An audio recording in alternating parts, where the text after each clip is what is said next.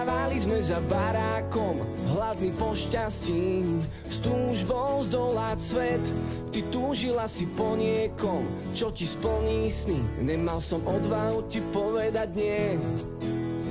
Tam, kam až slnko zapadá Slnko zapadá tam, kam chcem s tebou ísť Tam, kde čas nič neznamená Nájsť tam pre nás skrýš pokiaľ dýcham Budem bojovať z plných síl Aby som ťa presvedčil Že sme len ja a ty. Ozaj si myslíš, že chlapi neplačú? Si na omyle drahá. Pokým hviezdy padať nezačnú Raz som hore a raz padám sám. Bez teba to nedám sám. Bez teba sa nevzám Pokým hviezdy padať nezačnú. Nedávali sme si navzájom, čo bolo slúbené. Z času na čas ostali stáť Ako vtedy za barákom, deti zalúbené.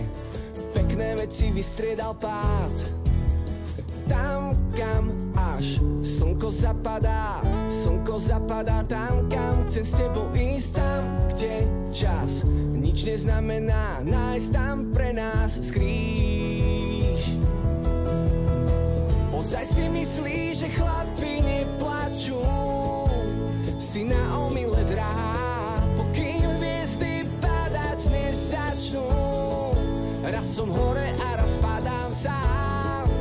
Bez teba to nedám sám. Bez teba sa nevzám Pokým hviezdy padať nezačnú. Pokiaľ dýcham Budem bojovať z plných síl Aby som ťa presvedčil Že sme len ja a ty. Pokiaľ dýcham Budem bojovať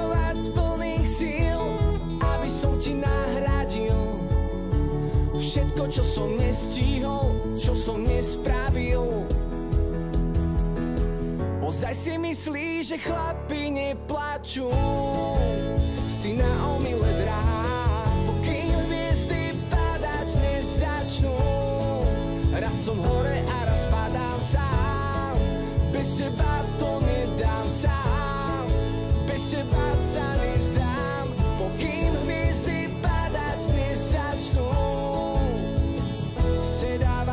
za barákom Čaute, moje meno je Rado, ja vás vítam pri najnovšom dieli relácie Kapela. Mojimi dnešnými hostiami sú chalani zo Zoči v oči. Čaute. Ahoj. Sme veľmi radi, že ste prijali naše pozvanie a pred chvíľkou sme mali možnosť vidieť a počuť váš nový videoklip Chlapi neplačú. Tak poďme teraz si povedať niečo k nemu. Ako napríklad takáto skladba vznikne, videoklip a poďme si to prebrať celé až od toho prvého tónu, toho úderu na gitare až po ten finálny produkt. Táto skladba vznikala tak dlhšie. Uh-huh. Uh, je to tá skladba, ktorá vzniká dlhšie, nie je tá 5 minútová, že rýchlo. Uh-huh. A veľmi dlho sme na nej pracovali aj s klavesakom uh, Horsom. A išlo tak po častiach. Ja som najprv mal slohu, sa mu to strašne páčilo, potom som do, dorobil aj predrefrén, fajn. Refrén sme dlhšie robili. A on urobil asi 100 verzií tejto skladby, on sa s tým strašne hral, strašne mi s tým pomáhal, za čo mu ďakujem. A po nejakom pol roku až tá skladba nabrala takýto ten celistvý uh-huh. obraz. No. OK, a ako vznikol námet na takúto pieseň? Tak zo života, jak všetko. Pieseň sa volá Chlapi neplačú a je to o tom, že chlapi plačú. Uh-huh. A si myslím, že je to také trošku ako romantické, také zalúbená taká bala- balada. Uh, posledný album sme mali takýto predčítak, uh, chalani hovorili, že či nemám nejakú takú trošku mekšiu pesničku, uh-huh. že by sme mohli spraviť nejaký kontrast. A táto pesnička úplne prišla vhod, lebo aj mne sa strašne páčila ako autorovi. Uh-huh. A chalani, keď ju prvýkrát počuli, tak úplne odpadli, tak sme na ňu uh-huh. takí pyšní a sme veľmi radi, že sme tú skladbu mohli dostať do tejto uh-huh. podoby. A na tej pesničke je počuť aj to, že si dávate záležať na tom, ako má tá skladba znieť, aký má mať zvuk a do akej miery vy tomu prikladáte teda váhu. No ja si osobne myslím, že určite veľkú, lebo však je to vlastne odrazom toho, tej našej tvorivosti, vieš. Ono vlastne zo začiatku tá skladba mala úplne inú podobu. Hlavne mali sme elektronické verzie, mali sme všelijaké uh-huh. Iné nápady, ale hlavne táto pesničkárska verzia bola v tom super, že uh, je taká, uh-huh. uh, jak by som to povedal, jednoduchá, ani nie, Priamočiara. priamočiara, uh-huh. presne taká. Že uh, človek si to viacej vie zobrať tak k srdcu aj zaspievať hlavne ľahšie určite.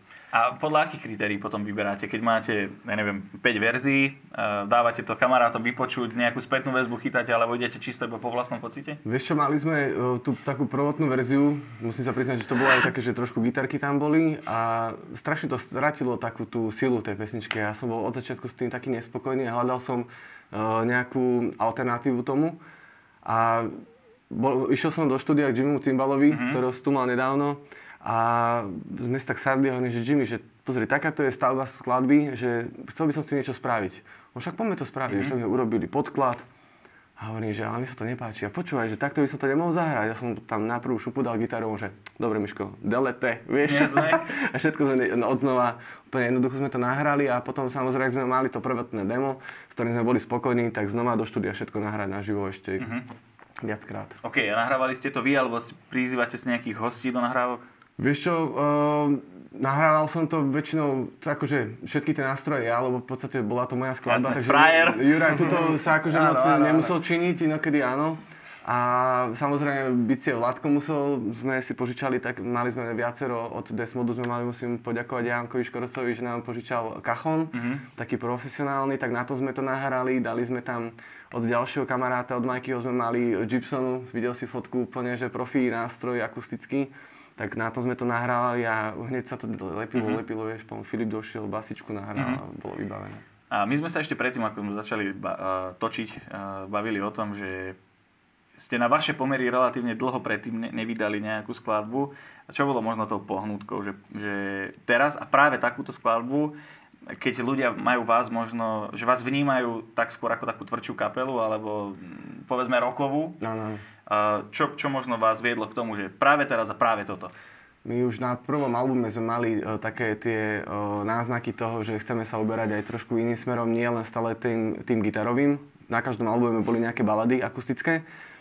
A uh, plánujeme, chceli by sme teda spraviť také akustické turné po Slovensku.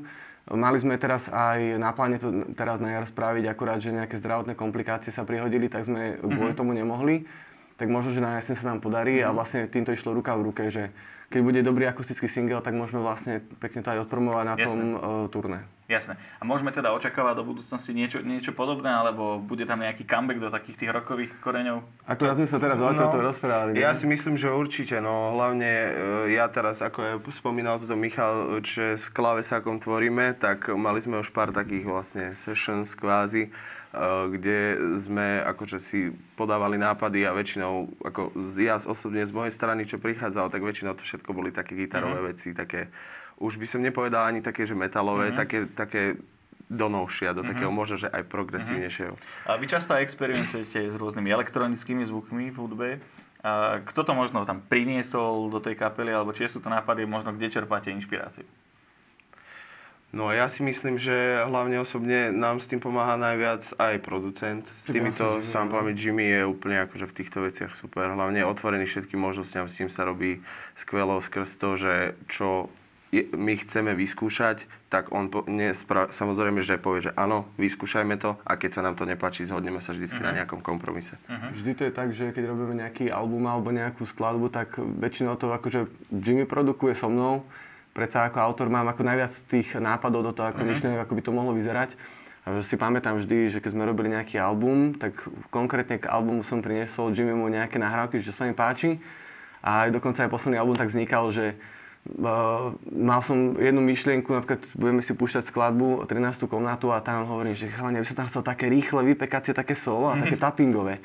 Tak Juraj s Jimmy už začali tam diktovať, vieš, a to je dobré, ty tam pridaj ešte toto, ja som ich, vieš, dirigent, lebo ja ako priznám sa, ja také veci moc neovládam.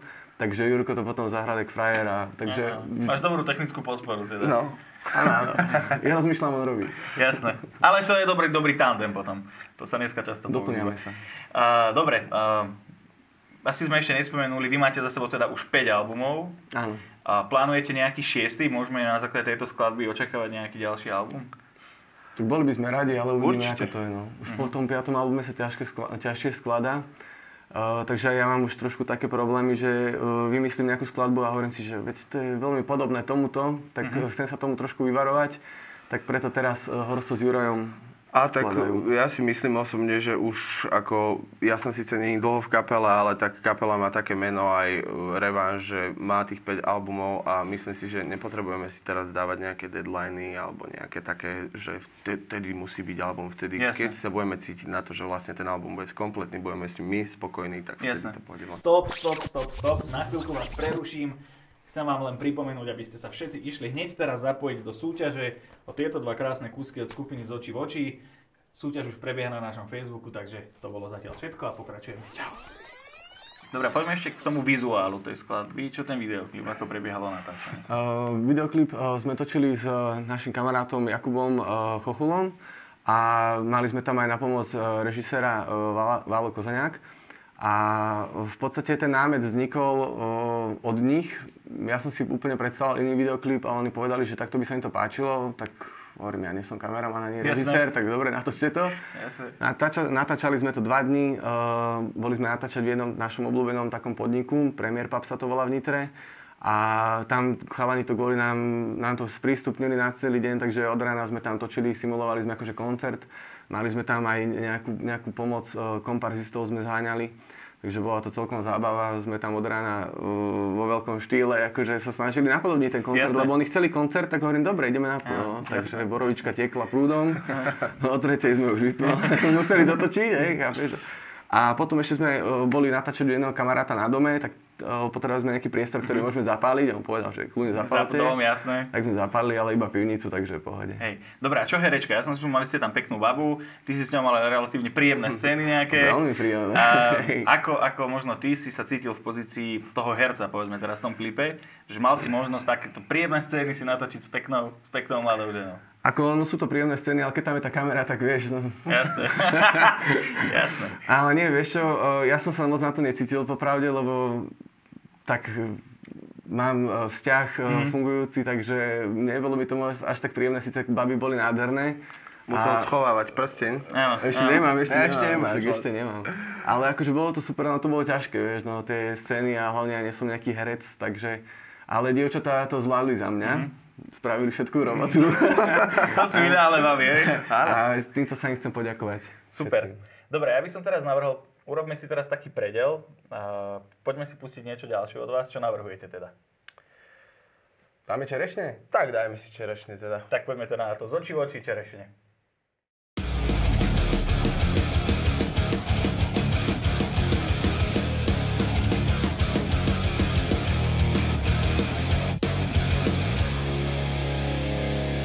Nemôžem zabudnúť na leto 2005 Mal som 17 a rodičov preč? Nemal som z ničoho strach. Keď som každý v ňom čakal na prázdniny Veď všetci v škole sa zbláznili. Začínal som sa ich báť. Chcem byť navždy mladý S dievčatami Milovať sa pod čerešňami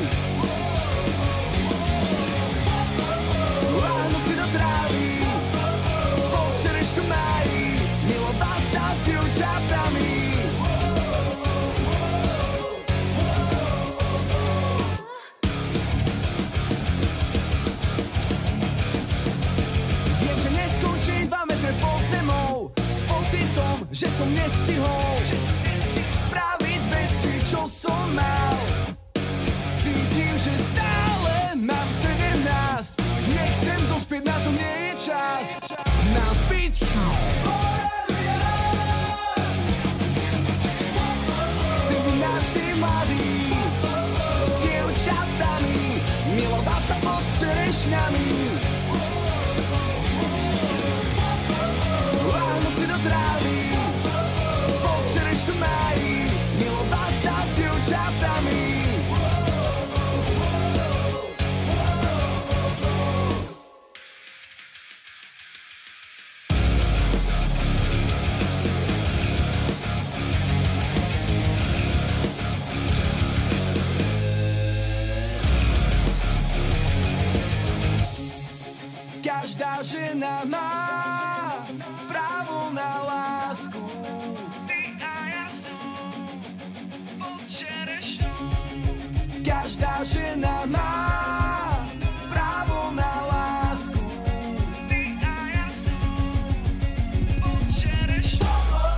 Byť navždy mladý s dievčatami, milovať sa pod čerešňami. Láhnuť si do trávy, pod milovať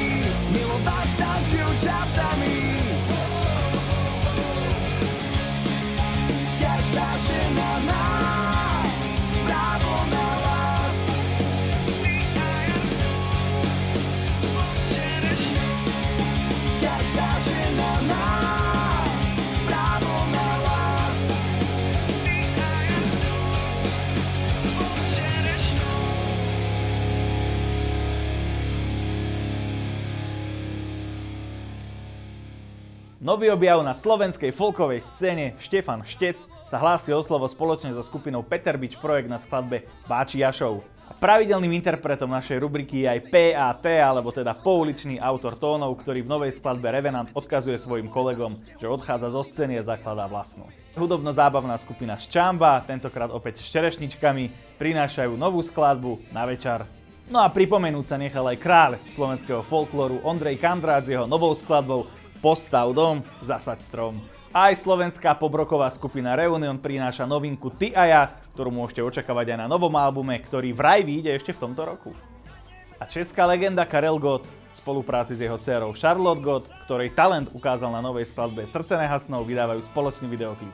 No a na záver rubriky Rýchlovka s Radom, môj osobný tip a ja vám odporúčam pre tento týždeň austrálskú repovú princeznu Iggy Azaleu v jej najnovšej skladbe Started. Lúčim sa s vami a odozdávam sám sebe slovo späť do štúdia. Čau. Sme späť, stále sledujete reláciu Kapela, mojimi hostiami sú chalani zo Zoči oči a videli ste klip Čerešne. Uh, poďme teda ďalej. Mňa by zaujímalo konkrétne vy dvaja, ako, ste sa, ako si pamätáte vy na vaše úplne, úplne, úplne prvé kontakty s hudbou. Či to bolo ešte skôr, ako ste založili kapelu? No, tak ja som kapelu nezakladal. OK. Tak, Tuto eh, nie. Tuto nie, ale mal som predtým samozrejme kapelu. Ešte ako Nitriansku sme sa volali, že ranná nevoľnosť. Možno, že to aj niekto pozná. Ja, ja áno. A ja. A vlastne, samozrejme, mal som začiatky už aj pred touto kapelou, ako prvýkrát som sa snažil hrať na gitaru nejakých 10-11 rokov. Bol som dokonca nútený aj e, chodiť na nejaké hodiny osobné a takto. Ale to ma práve že vôbec nebavilo. Najviac ma to chytilo asi vtedy, keď prišiel ten kolektív hlavne a začalo sa už niečo vymýšľať a vlastne začali byť tie, také tie prvé koncerty a tieto A to by ma zaujímalo, ako si sa ty vlastne dostal do kapely z očí oči? No, tak to bol vlastne uh, september 2016 a vlastne vtedy túto chalani dali, pár mesiacov predtým dali von vlastne, že teda uh, gitarista Jano Pisoň predtým, čo hral predo mnou, tak odchádza. A uh, ja som vlastne len tak skúsil napísať Mišovi, le- lebo my sme sa poznali akože tak, že aj z koncertov, sem to aj vonku sme sa stretli. A tak som mu napísal, že či teda nemôžem vyskúšať ísť. A vlastne boli sme, tuším, že v skúšobni sme si boli vtedy zahrať. A tak Miškovi som sa nejako tak zapáčil. Aj som mu možno, že tak sadol. a slovo dal slovo a o, o nejaký týždeň sme sa už dohodli a vlastne vyšlo to už takto nejako. OK, napríklad z tvojho pohľadu táto istá Táto, situácia? táto situácia napísal mi, že pre Boha. nie, nie, prvého ti som fakt nechcel, že uh, mal som nejakú inú predstavu o gitaristovi.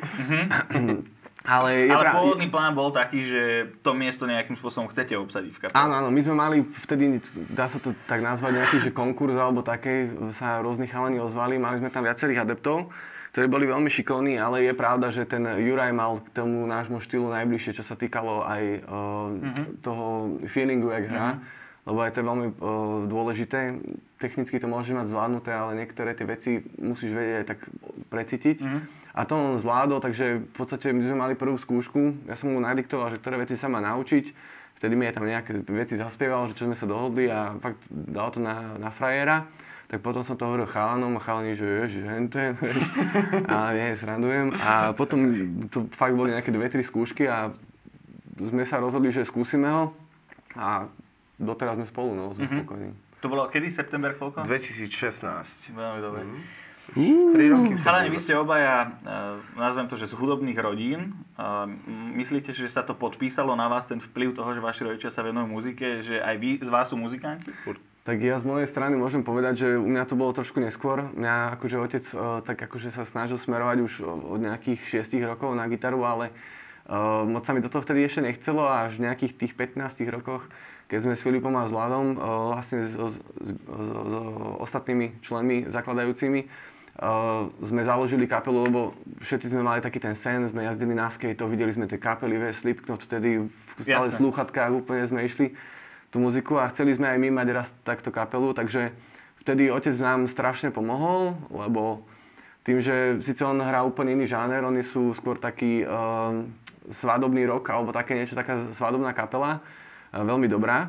A, takže on nám vtedy pomohol, že nám donesol nejaké staré bedne, mm-hmm. vieš, a pre mladú kapelu to bolo najlepšie apar- naj, naj, najlepší aparát na svete, jasné. vieš, my sme mali bedne, vieš, No. potom som si kúpil nejaké kombo, gitaru. A wow, 10 Zo- W to bolo hluk vtedy, čo? Vieš, donesol Jolanu za tisíc korún, to kúpil, ja som z toho vrískal, vieš, bolo to nechutný telekaster, také škaredé ešte iriska, ale bolo jedno, takže určite pomohol veľmi otec. No. No a ja samozrejme, akože bol som vedený k tomu, nikdy som ale nebol nejakým agresívnym spôsobom vedený k tomu, že no teraz musíš hrať, teraz musíš robiť toto. A práve že zo začiatku ma to, jak som aj hovoril, že vôbec nebavilo, ale samozrejme, že dalo mi hlavne uh, rozhľad do toho, že ako to všetko funguje, čo je vlastne za tým, ako fungujú všetky tieto podujatia, že vlastne koľko práce stojí stať sa vlastne takým muzikantom. Takže asi toľko. OK. Prejdem teraz trošku inde. Išiel by som na tie sociálne siete trochu. Napríklad, neviem do akej miery vy si sami seba sledujete, ale viete napríklad, že čo je vaša najsledovanejšia skladba na YouTube? Ja viem. Aj ja Eh, viem. Je to nad Prahou. No, určite. Sice Škoda, že na túto skladbu nemáme klip a to sme nejako vtedy nestihli. Ale o to lepšie, že to má také číslo. Veď jasné, ako je to veľmi, ale máme tam ďalšie skladby, ktoré napríklad klamem tiež balada. To je presne napríklad to, že aj kvôli čomu uh, stále robíme tie akustické skladby, lebo vidíme, že to ľudia od nás majú radi. Uh, my sa tomu vôbec nebránime, ide to z nás prirodzene, takže vždy sa snažíme spraviť nejakú takú akustickú nejakú baladu, ktorá potom aj má najviac videní. No. A do akej miery t- ten feedback na tých sociálnych sieťach, konkrétne bavíme sa kľudne otvorene na tom YouTube, si beriete vy k sebe. Videl som niektoré vaše, niektoré vaše videá, alebo teda klipy som videl, že nemajú možnosť ani byť komentované. Áno, áno. Čo vás možno viedlo k tomu, v prípade, ak vás teraz zaujíma spätná väzba? Áno, áno. Vieš čo, mňa to veľmi zaujíma, ale ja to veľmi tak ťažko prežívam ako autor. Vieš si to predstaviť, že je to také nepríjemné, keď niekto niečo napíše, ale samozrejme to rešpektujem. A toto bol vtedy nápad ešte nášho bývalého gitaristu Jana, ktorý sa vtedy akože e, staral aj o tieto sociálne siete. A on chcel byť niečím takým, akože, že poďme ešte vyprovokovať viacej tých ľudí, že zakážeme komentáre. A tým pádom sa e, nekomentovalo možno na tom YouTube, ale komentovalo sa na Facebooku. Tým pádom tam vznikali väčšie interakcie medzi tými ľuďmi, tie hádky a nejaké tie komentáre.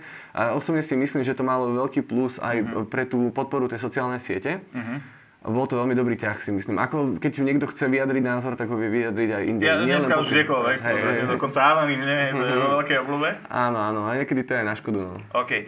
A stalo sa vám niekedy, že ste uh, urobili niečo, nechcem povedať, že by tam bol nejaký kalkul, ale o čom ste si mysleli možno, že to bude mať naozaj veľmi dobré čísla a nakoniec tomu tak nebolo. Ja si myslím, že jedna skladba mm-hmm. taká bola. Ja som jej strašne veril. Mali sme skladbu na poslednom albume, ktorá sa volá Noc je mladá. Mm-hmm. A ja som mal proste tie, takú víziu, že spravím takú letnú pesničku, takú pohodovú, takú, že dáme tam gitarky, ale že nebude to nič agresívne. A doteraz si myslím, že tá skladba je taká nedocenená, že aj výborný videoklip sme na ňu mali. Myslím si, že bola fakt, že aj textovo, aj, za, aj hudobne zaujímavá. Mali sme tam uh, pomoc uh, Myženkovcov, to sú bratia z kapely Smola a Hrušky. Na, tých áno. dýchových A, nástrojoch. áno, áno, trubkári dvaja. a napríklad z tej skladby mám taký pocit, že taká nedocenená. A ja si myslím osobne, že ľudia to, jak keby sa báli prijať to, že sme vlastne zmenili kvázi boli zvyknuté na tie balady alebo na tie tvrdšie veci a toto bolo zase niečo žánrovo úplne odlišné.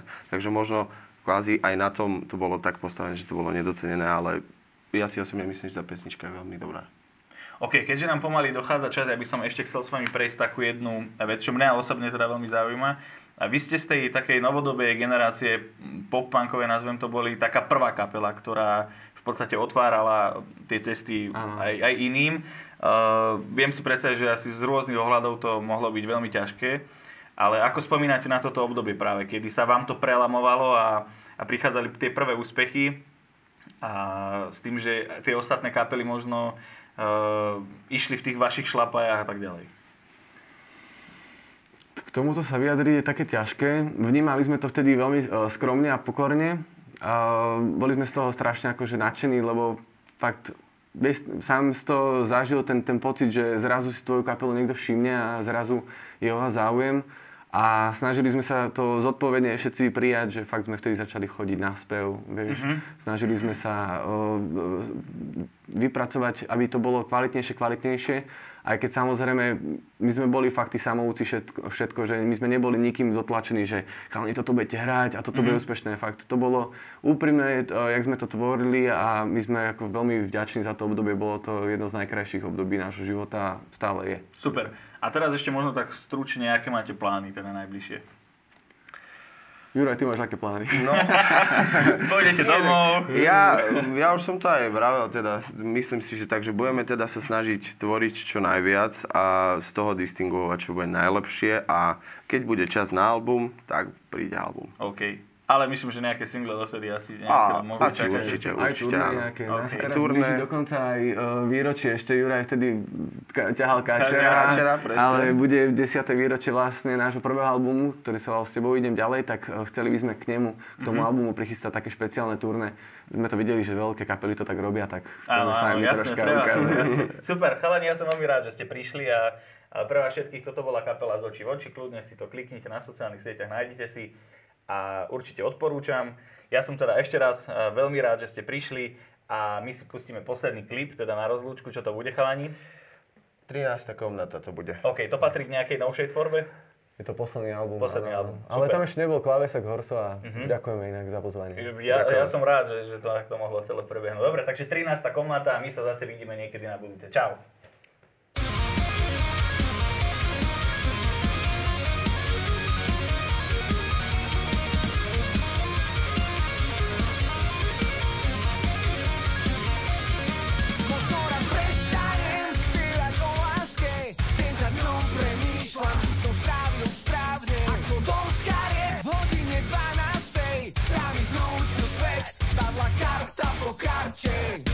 Nezhasol som svetla, keď som odchádzal Teraz už radšej stojím v tieni, prosím nezhasínaj Kým tu nie som, nestihol som ti povedať, že ma to mrzí.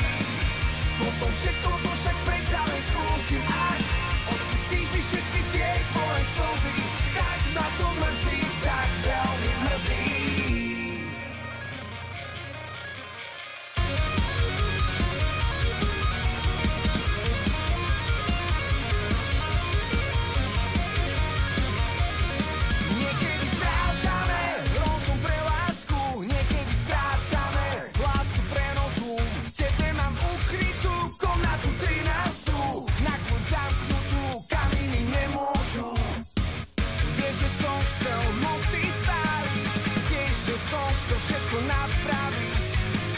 že som sa nechcel zalúbiť. Nestihol som ti povedať, že ma to mrzí, potom všetko